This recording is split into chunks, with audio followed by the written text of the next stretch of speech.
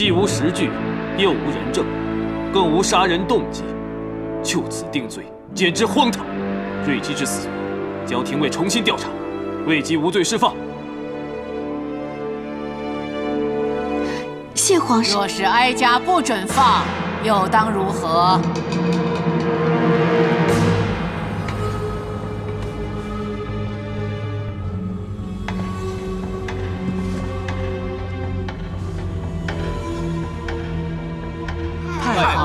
后金安。太皇太后金安。陛下。都起来吧。谢太皇太后。祖母何以纡尊到此？哀家知道皇帝和皇后在审理后宫凶案，哀家怕有偏颇，所以特来看看。魏姬杀人只是片面之词，并无杀人动机或人证物证，故孙儿将其释放。未姬之死，交廷尉调查。母后，陛下，我有人证。可凭据皆动机，那就宣证人吧。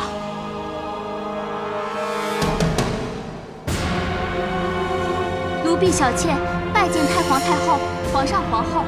免礼了，待会儿问你什么，你就答什么。诺。小倩，魏姬如何对待瑞姬？快讲出你所知所闻。禀太皇太后、皇上皇后。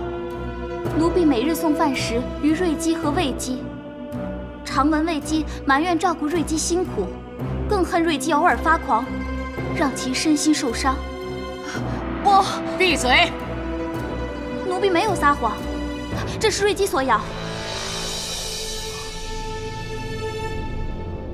瑞姬曾说，恐怕不知何时会再受瑞姬痛打，深恐性命堪虞，为求自保，得先下手为强。小倩，我跟你无怨无仇，你为何诬陷我？子夫，对不起，但在太皇太后、皇上皇后面前，我不得不说实话。不，我你还说，反正瑞姬狂癫吓人，她死了也没有人疼惜，到时候定能脱罪。你撒谎，我没有说过。既然人证动机都在，就按罪处死吧。来人，在在。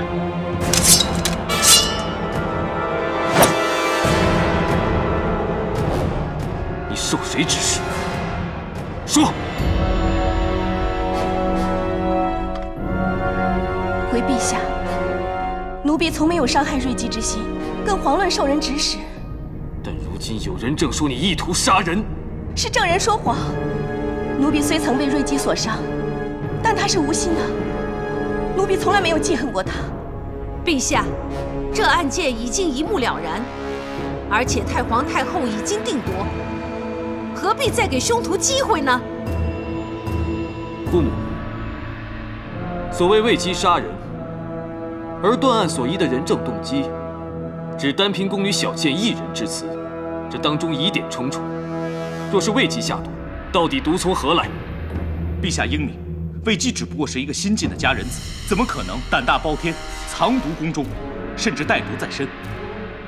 若小倩所言属实，魏姬是因为不堪折磨而毒杀瑞姬，以求自保，那么毒杀就不是预谋。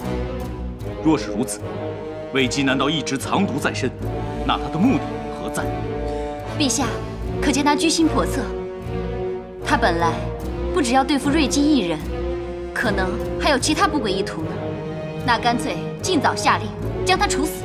看来皇后也认为此事所牵扯的不只是老宫人被杀，而是另有玄机，那就更不能就此结案，非严加细查不可。陛下，臣总觉得还有些疑处，也许当中有不可告人的阴谋诡计。朕不查个真相大白，绝不罢休。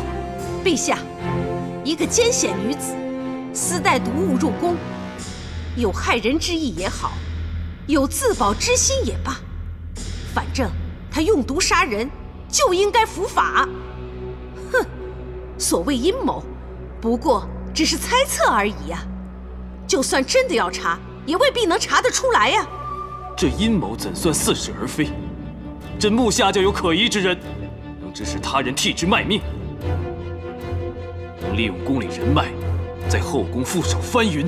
此人，或是你。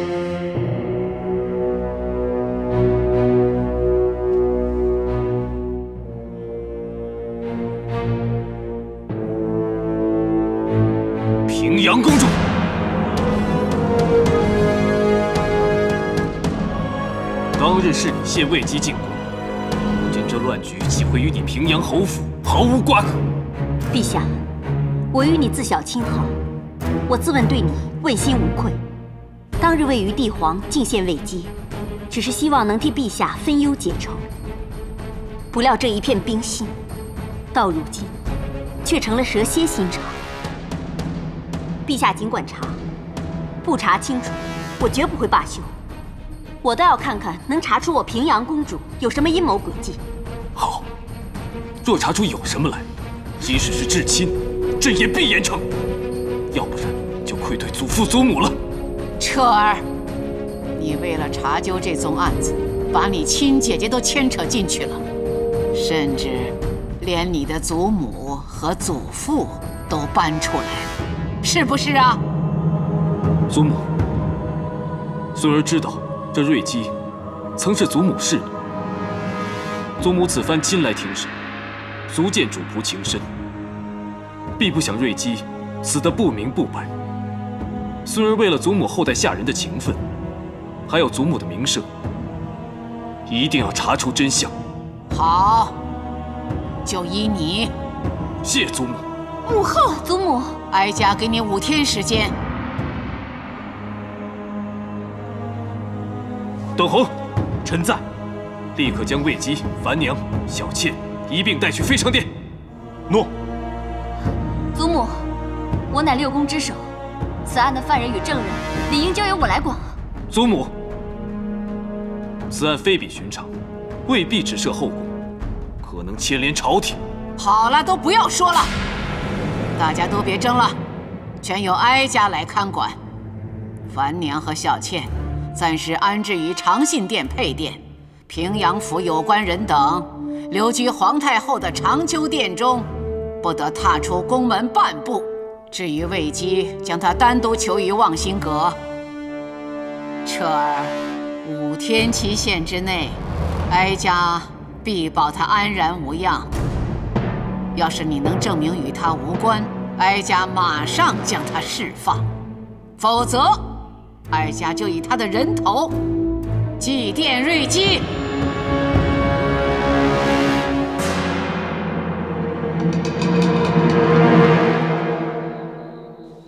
那歌姬果然是个祸害，连累我全府上下给囚禁起来。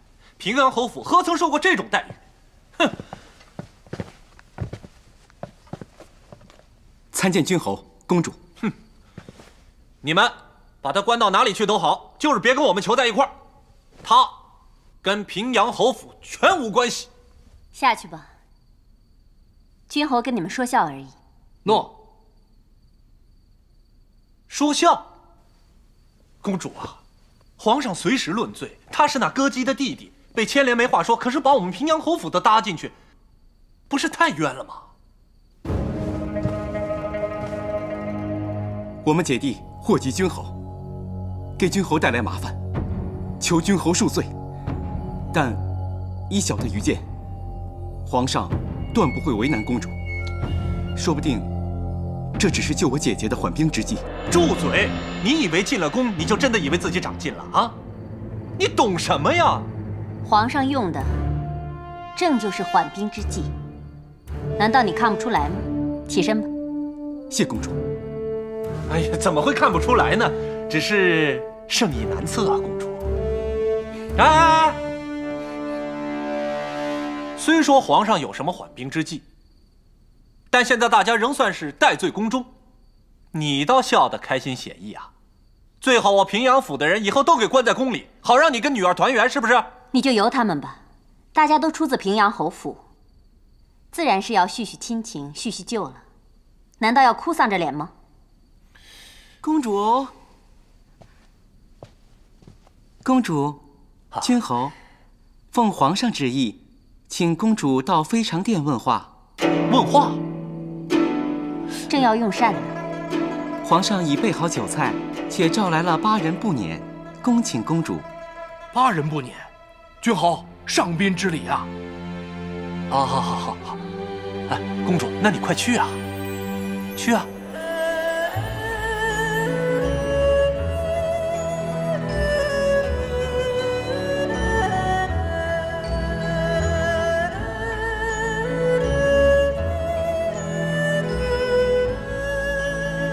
不是说有话要问吗？想问什么，不妨直说。弟弟想问姐姐，这新进贡的举酱酒，味道是不是姐姐尝过美酒之中最上乘的？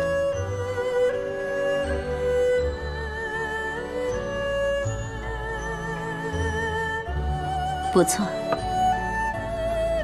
既是姐姐喜欢，那么弟弟。便全数留给姐姐吧。弟弟有难题，你我姐弟同当，这好酒难求，何不分甘同味呢？弟弟有难处，姐姐想都不想就帮忙。如今这点小心意，岂会不悉数送给姐姐呢？母后那边是有点生气，不过你放心。我劝他只当是我入宫与弟弟亲近几天，反正不是真的姐弟不和。母后已经安心了许多，只是弟弟需要尽快结案，到时候再向母后请罪就没事了。弟弟何尝不想尽快结案？只怕姑母行事慎密，不会留下尾巴。你倒说的坦白。子夫谦厚，除了因宠遭妒之外。还有其他理由会惹上祸端？樊娘竟然安排子夫去向瑞姬学宫规，其实一开始就是个圈套。至于那个小倩，看似柔弱，却得势不饶人，对子夫的指控全触及祖母心思，一看就知道是有人指使。究竟谁人指使？我们心中有数。现在就从瑞姬的死因着手，先查出死因，找到下毒源头，这样就能顺藤摸瓜，查出真相。参见陛下，公主回来了。御医怎么说？据御医查验所报，瑞姬的确是中毒而死。至于是何毒所致，他们一直在查究，却难下定论。会是厨房动了手脚吗？瑞姬死后，御医怕是厨房出错，曾去细查。连他当日的食物残羹也留起细验，一概查不出有什么问题。臣会继续调查樊娘、小倩的一切。朕已下旨，不管任何人，如有报信，赏；有线索，赏；有证据，更赏。那我就动用宫中所有人脉追寻线索，希望尽快查出真相。如今我们最大的敌人。就是那弹指光阴。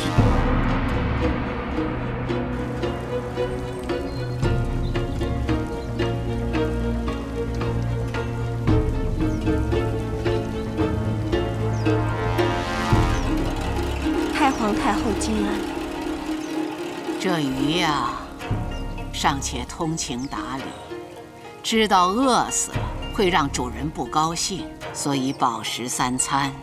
可有些人。却有时不时，无中生事，是存心跟哀家作对吗？你是有意弄出性命之忧，让哀家失信于皇帝，还是害了人心有余悸而食欲不振呢？禀太皇太后，奴婢这两日来只饮不食。不是存心与太皇太后作对，而是想以此对瑞姬尽哀悼之思。这话倒新鲜，谁听了都觉得稀奇。这样的谎话，你以为哀家听了会相信吗？请太皇太后明鉴，奴婢未曾说谎，万物有情，连鱼儿也懂得体念主人心。更何况，奴婢跟瑞姬相处多日，自然是有情分的。他不是曾经癫狂发作，伤了你吗？过来，让哀家摸摸那伤口。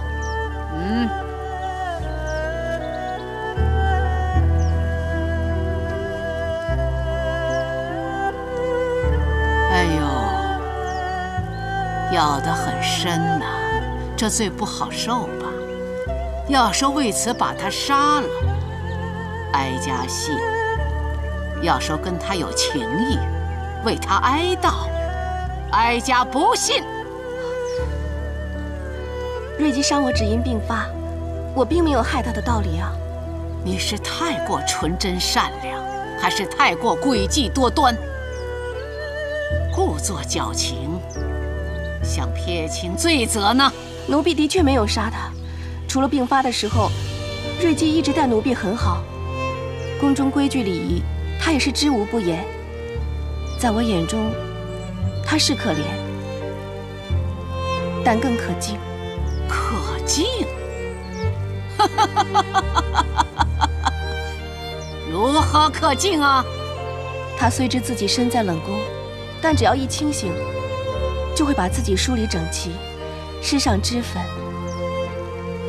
插上他珍爱的双蝶步摇，把自己有伤疤的脚包裹好，总不失他作为一个佳人子的身份。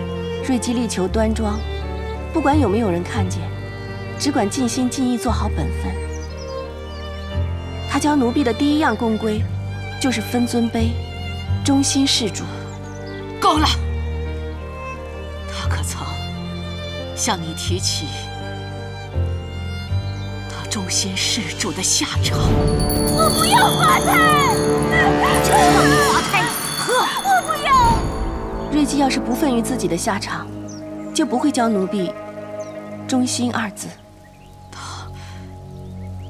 他可有说怨恨过谁？给我放开！我不要！啊！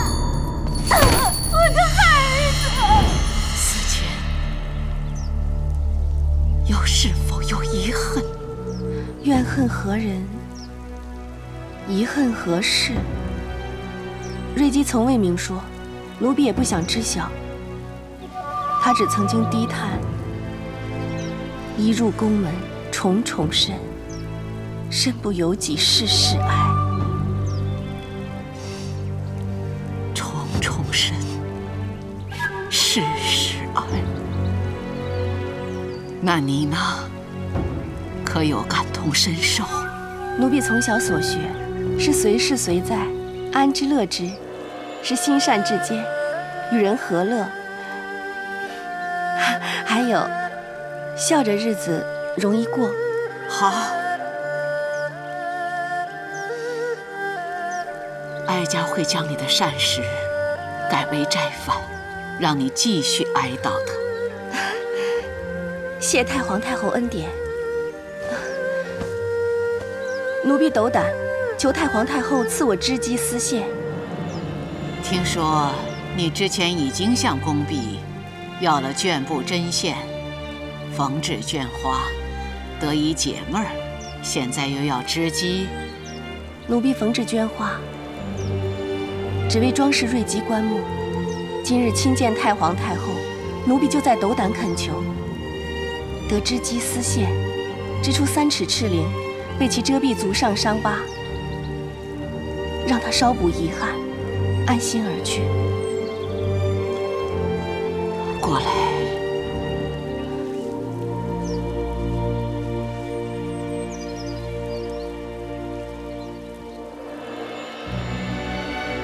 美则美矣，不料还如此善解人意，难怪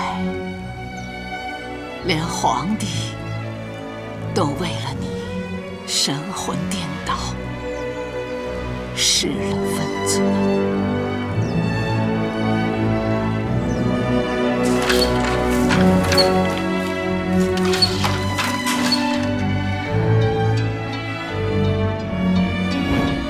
当年皇上最疼爱我，在我狱卒细嫩纤幼，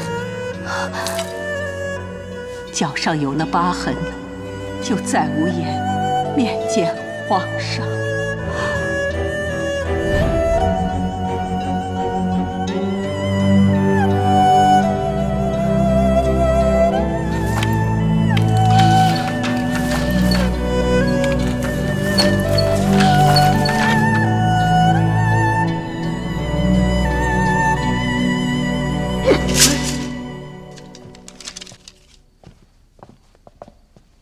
陛下，查的怎么样？回陛下，那樊娘的叔父原是御医，曾随军戍守河西一带。那他也许因此而认识药里毒物，从而对瑞姬暗中下毒。这的确说得通。可他叔父三年前已经离世了，难以进一步查证。陛下，御医们送来的医书，当中可有什么线索？若是有，朕会这么焦急吗？只有瑞姬与魏姬共处一室，所吃的东西都一样。却只有瑞姬一人中毒，看来此毒用的相当蹊跷。可惜我们可以参透各种玄机的时日不多了。小倩的背景很简单，只是个普通的工人。反而樊娘比较复杂，她没有兄弟姐妹，却在宫外养着一个八岁大的侄儿。臣会在进一步调查。即使有重伤，还是没人来讨。子夫的生死，要看天命了。白昼降临，平日朕最爱看见旭日东升，总觉得朝气蓬勃，充满希望。可这几日，朕却希望日光不会出现，似乎日子流逝的更加快了。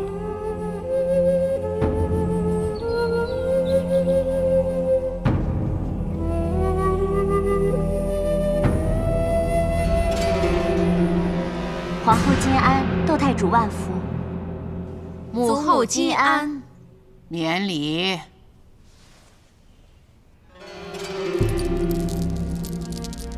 秋萍，你先下去吧。诺。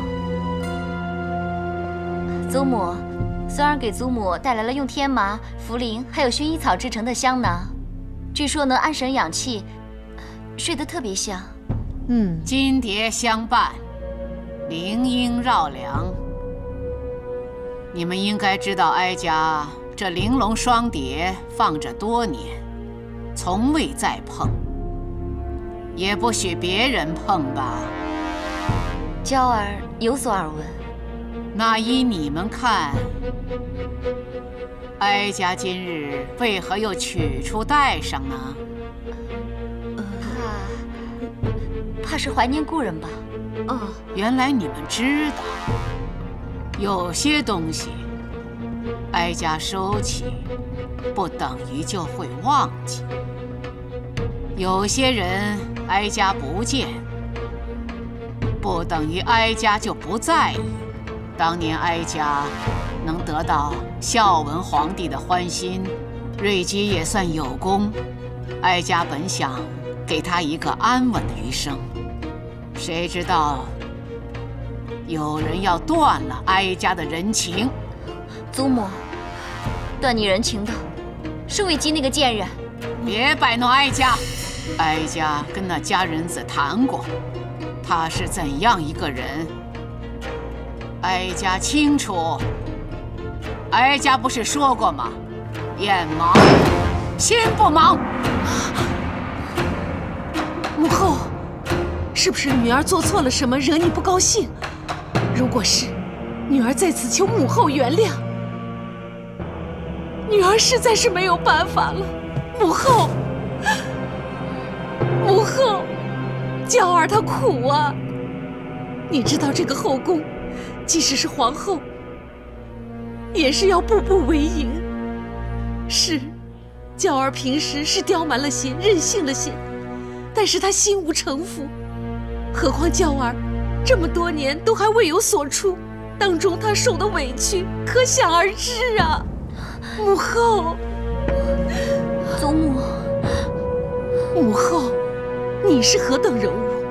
当年尚且需要借助外力来顾宠，何况是娇儿呢？后宫凶险，有时为了自保，也不得不做出牺牲啊。其实祖母，娇儿也不想独得帝宠，只希望在皇上心里留点位置。可是，那个魏姬不过是平阳侯府的一介歌姬，皇上竟然为了她，在母后面前演戏，还要给平阳公主胡乱冠一个图谋不轨的罪名，只不过是想拖延此案。这个魏姬才刚入宫，就让帝皇家落下笑柄啊！母后，也许你觉得这个佳人子讨人欢喜，想放他一马。但是人心难测呀，今日是好，但明日呢？怎能及骨肉血脉永远不变的亲情啊，母后？祖母，其实娇儿只想常伴祖母身边，侍奉祖母，这样娇儿就心满意足，别无他求了。娇儿啊，带来的香囊。当真养神，拿给祖母试试看吧。嗯，祖母用过之后，一定会喜欢的。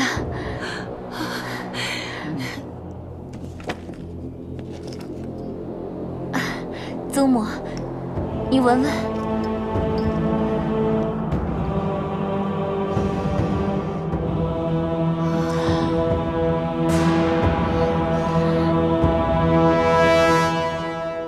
据工人们的传言，这樊娘在宫里应该有个相好的，但就不知道是谁。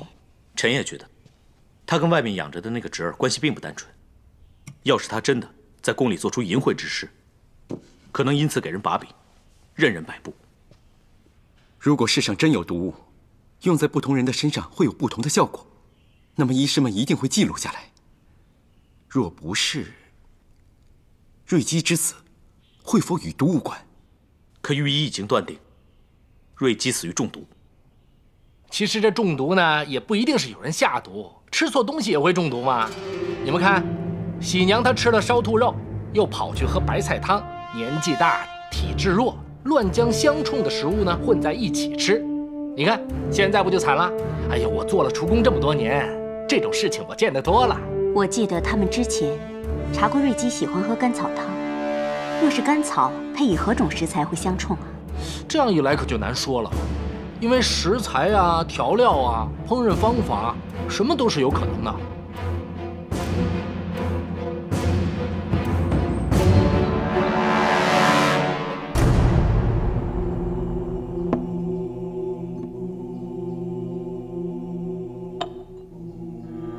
哦，这是桂花粉，干花研成的，该不会……跟瑞基的食物相冲吧。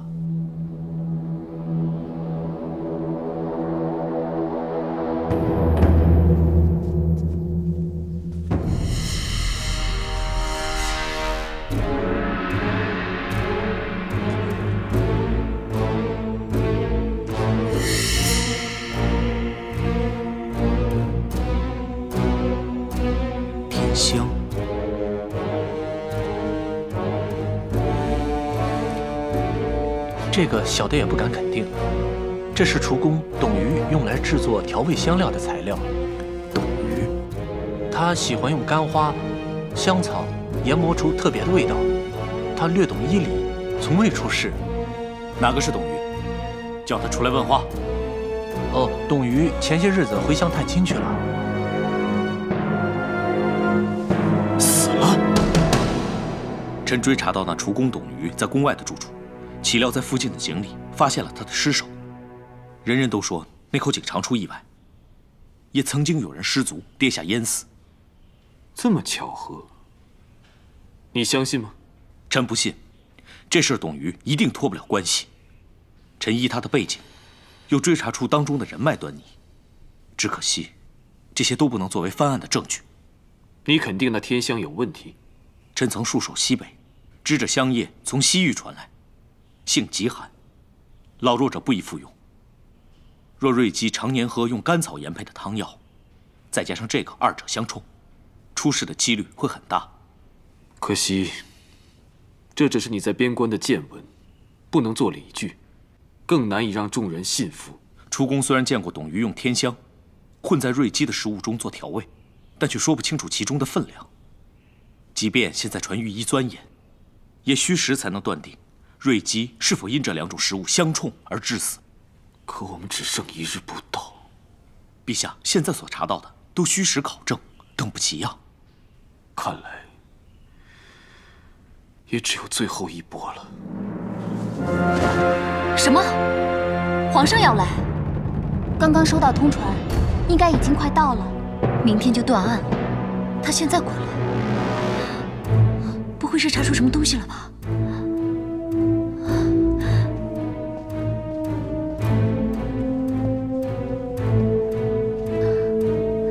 参见陛下。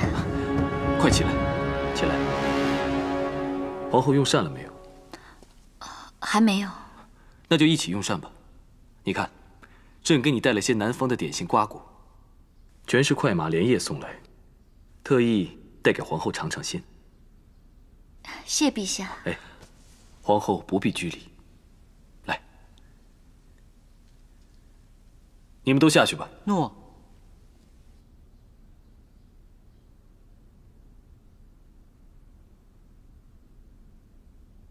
皇后，朕初登大统，想有些作为，要兼顾的事情多，也许你会觉得朕冷待了你。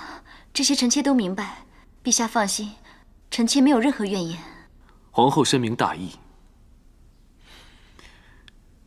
朕就无后顾之忧了。陛下，我们两个从小就相识，常玩在一起。感情亲厚。我们小时候就是像这样分享美味的。这种感情岂会轻易受到影响呢？皇后，你放宽心，不管如何，你都是朕的皇后。听到陛下这句话，臣妾好开心啊！那就好，皇后谨记此话。就忘了之前的风风雨雨吧，像从前般彼此信任，别再与后宫的其他嫔妃计较纠缠了。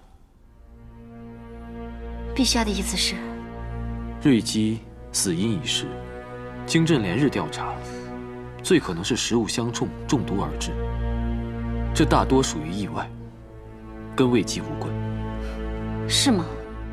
此事疑点重重。未必真的就是毒杀，何必错判伤人命？不如皇上好久没有这样温柔对臣妾了，臣妾本应该高兴。祖母素来最宠爱你，若是你能亲自向他老人家说清楚事情始末，将这场风波平息，朕定会感激你。以后大家琴瑟和谐，感情更深厚。你我的感情不是从小就开始的吗？为什么要我帮了他，才会更深厚？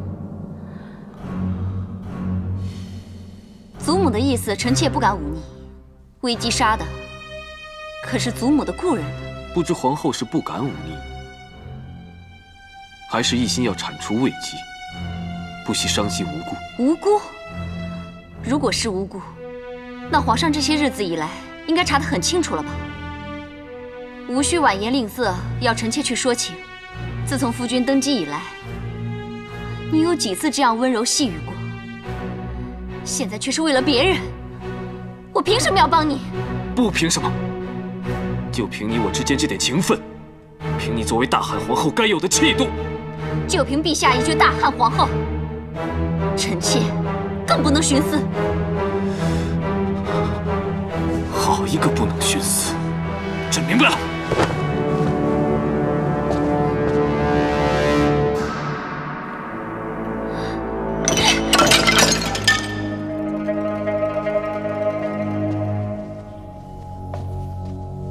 回禀陛下，太皇太后说要歇息了，请陛下明日再来。回去再传，说朕有急事相助。诺。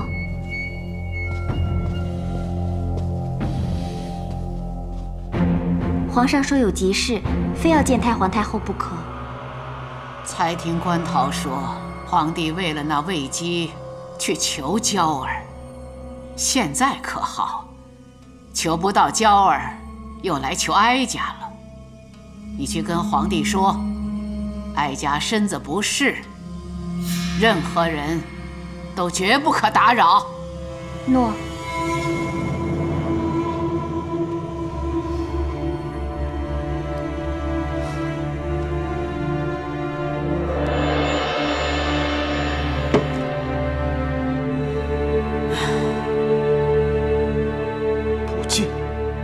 说清楚朕有急事？奴婢说了，可是太皇太后凤体为和，下令任何人都绝不可打扰。绝不可打扰。是。那就没办法了。段宏，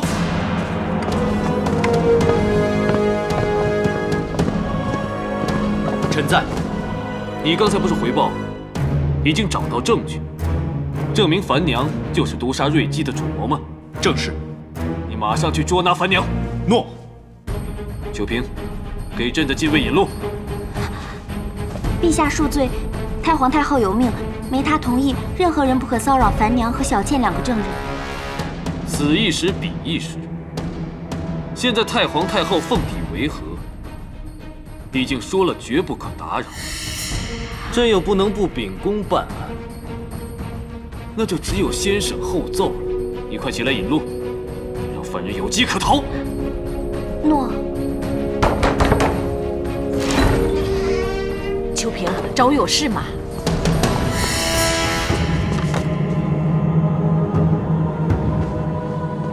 樊娘，我们已经找到证据，证明你与瑞姬被杀一案有关。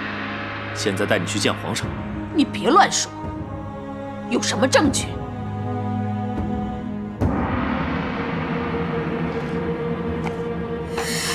你认识这个吗？这些就是在叶婷你的房间里找到的。你就是用这个天香害死了瑞姬？怎么可能？我根本不知道这是什么。哼，在我的房中怎么会有这种东西？是吗？你的叔父曾当过御医，并随军在边关多年，你不会连天香都不认识吗？那又怎样？那是我叔父，而且他已经死了三年了。你曾替你的叔父抄写遗书。应该不会不知道天香与甘草相冲，何用成毒？你就是利用这点来毒害瑞姬，并加害魏姬。全是臆测，根本没有凭证。要我带董瑜来跟你对质吗？什么董瑜？我我根本不认识。那你为何出入他的房间？你的发钗为何在他房内出现？这钗子根本不是我的。你伪造证据，含血喷人。来人！证据确凿，你带走。诺。皇上真要屈打成招吗？大人，太皇太后让我和小倩留在这长信殿，就是怕我们被冤枉。太皇太后英明，一旦知道你借用董瑜之手害死瑞姬，必定不会轻饶。求太皇太后为我们做主。太皇太后，仆夜大人，你虽受皇命，但人在长信殿，你们要有真凭实据才好。要不然，即使皇上也难向太皇太后交代。董瑜已经亲口承认罪状，说樊娘就是主谋，全都是说谎。董瑜已经死了，人证物证都是他编造的。你不是说你不认识董瑜吗？啊你怎么知道他死了？带走。诺。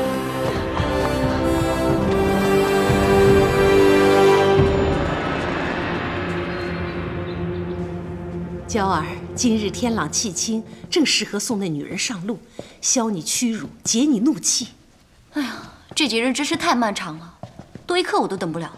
放心吧，皇上查了好几日都没查出什么事，而且还特意去找你求情。哼，那个贱人魏姬肯定活不过今日，你就安心的等着看好戏吧。太皇太后驾到！祖母。孙儿来给你请早安了，母后金安，都起来吧。皇上驾到！陛下圣安。起来吧。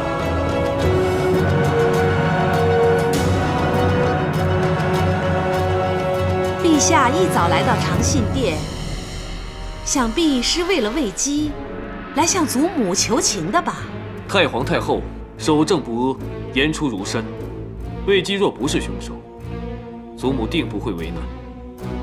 要是凶手，自当从严惩治。彻儿，反正真相已明，就结案吧。诺。段宏，带上来。参见太皇太后，参见陛下，参见皇后。犯人已带到。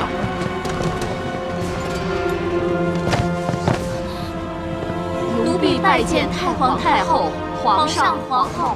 你二人如何令瑞琪中毒，又嫁祸于魏姬的？说。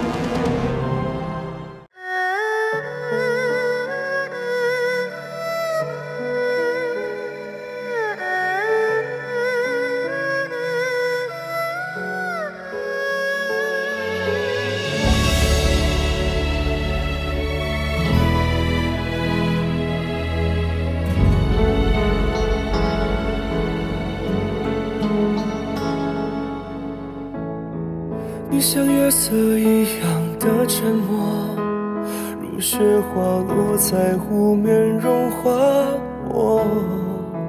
寂寞的烟火，忘掉年月，让天空快乐。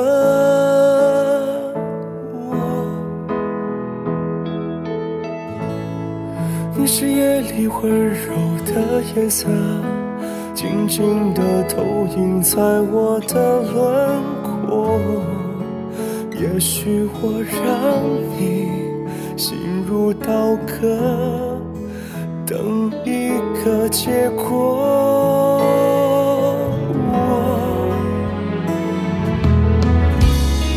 蝴蝶飞过沙漠，爱得太执着。人间的风光都看过，才领悟曾做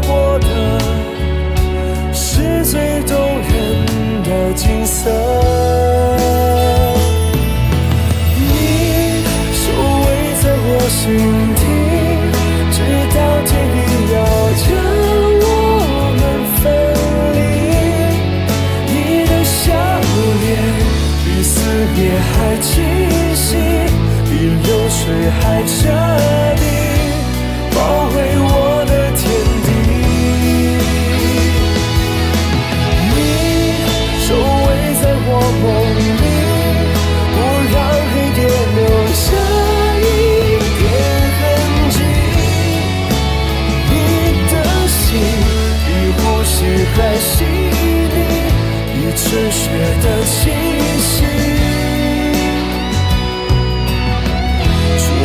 我的回忆。